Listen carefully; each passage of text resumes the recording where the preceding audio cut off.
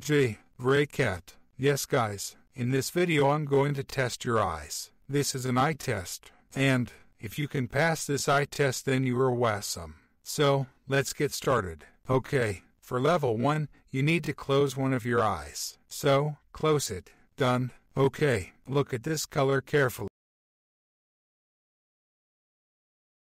Like the video if you see blue.